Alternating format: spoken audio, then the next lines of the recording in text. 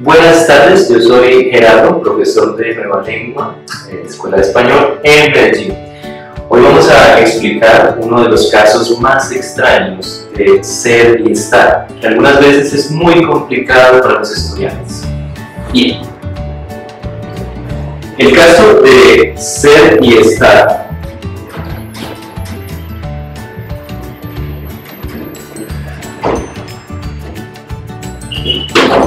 Para descripciones, muchas veces nos preguntamos, ¿es correcto decir soy alto o estoy alto?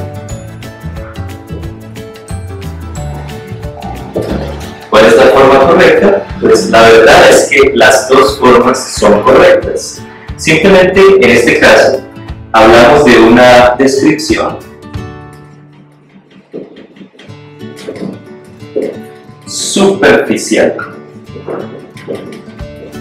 Significa que es la primera vez que veo a una persona, por ejemplo. Es posible decir que este hombre es alto, ¿sí? Pero no tengo información del proceso de su vida. En este caso es posible decir, ¿sí? Que hay un proceso. Por eso es posible decir que hay una descripción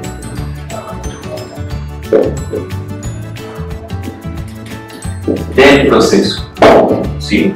Es posible decir que yo conozco a Roberta, por ejemplo. Como conozco a Roberta, puedo decir en una comparación cómo era Roberta hace 10 años y cómo es ahora.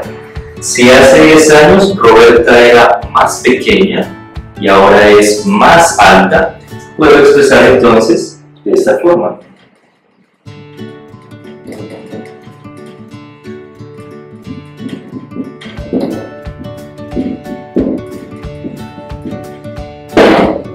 Y aquí expresamos el proceso. Entonces, los dos casos son posibles. La primera vez que veo a Roberta es una mujer alta, pero si hay un proceso, entonces ahora está muy alta.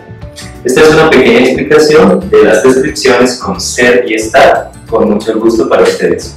Buenas tardes.